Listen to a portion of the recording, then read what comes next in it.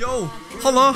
Har du noen gang lurt egentlig på hva i svarteste folk er det egentlig søker på Google nå for tida egentlig?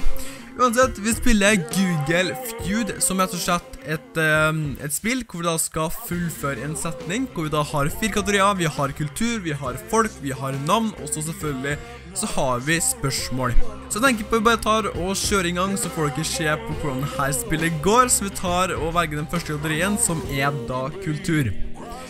Ok, så hvordan autocomplete så fullføre Google det her spørsmålet? Altså det står powder her, altså det er pulverisert, og så skal jeg da fullføre det. Ok, la meg tenke, hva er det folk egentlig søker på powdered?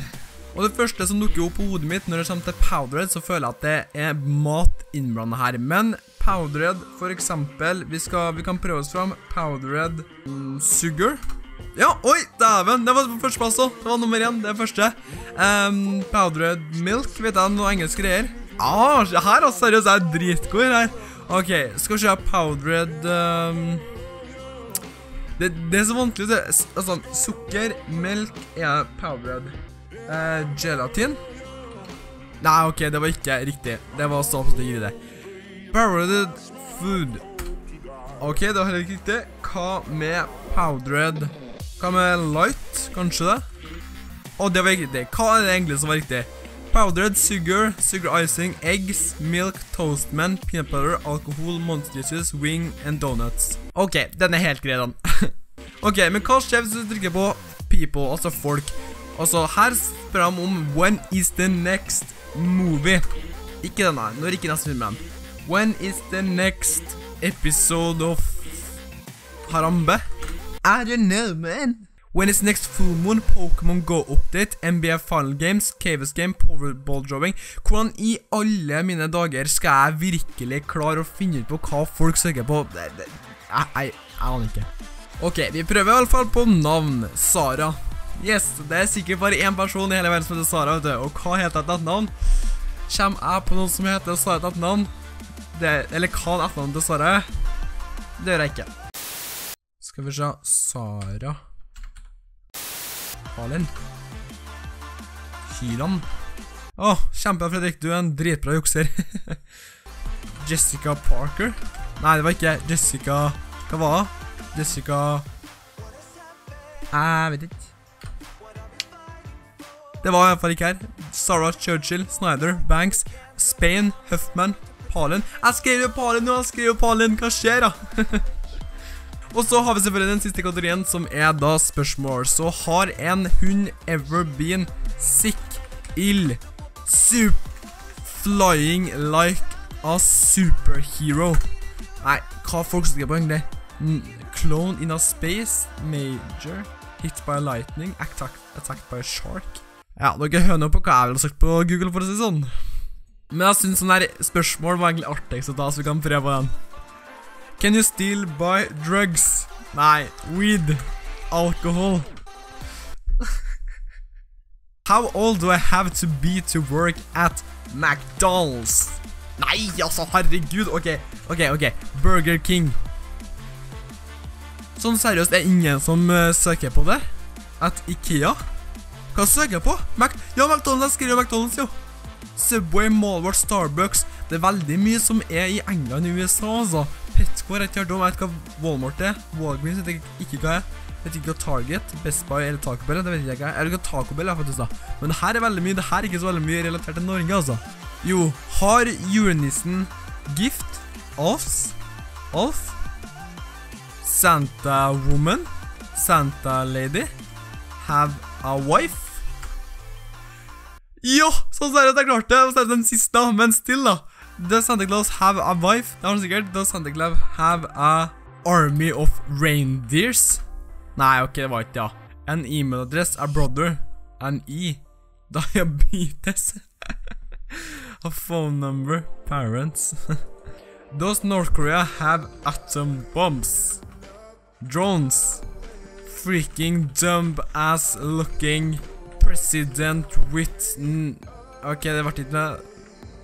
Ok, Ok, så har Nord-Korea en skikkelig dumrumpeseende president. Det var heller ikke riktig. Is it okay to swim with? Er det ok å svømme med boxers, trousers, your mom? A tampon. Ok, greit det. Men med mora di går det ikke an å søke på. Hva er det med folk i verden i dag? Ok, do fish ever drown? Det seriøste på nummer to her, så jævlig lattis. Så artig. Ok, do fish ever um, breathe? Nei, ok, den søker ikke på det. Ever poop? Sleep, get bored, stop moving, blink, get full. Fart, get tired. ok, det er ganske bokstavelig her, altså. How do you pretend to be another person that you don't are? Ikke det derre. How do you pretend to be a older person? Oh, det kunne seriøst vært så midt i smørøyet til det her. Å, det er så synd at det der ikke var nummer én, altså.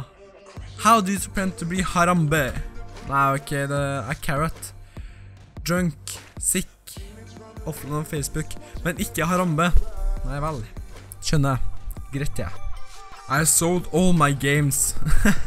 Om jeg skulle gjort det, så har jeg flytta herifra og dratt til konsentrasjonsleir i Kina. I sold all my gear. I sold all my clothes. I sold all my money. Ok, så jeg solgte alle pengene mine. Hva solgte dem for, da? I lied about my food.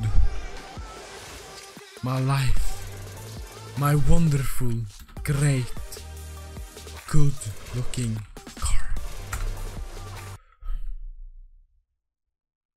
I think I have harambe. I think I have tacos. I think I have edgy edgy. oh, hi, Jesus. I think I have problems. a pet name Steve. I think I have a pet name. I think I have cancer, herpes, bedbugs. my mom is my best friend. Ok, greit. Greit, det. Greit. My mom is my soulmate. It's my slave. It's my rock. It's my everything. For noe kliss. Æsj. I love the taste of good mornings. Prøv å være positiv. Nei, det er rett. I love the taste of Sandwich. Ice cream. Jeg prøver å være positiv, jeg. I love the taste of balls, som er på førsteplass.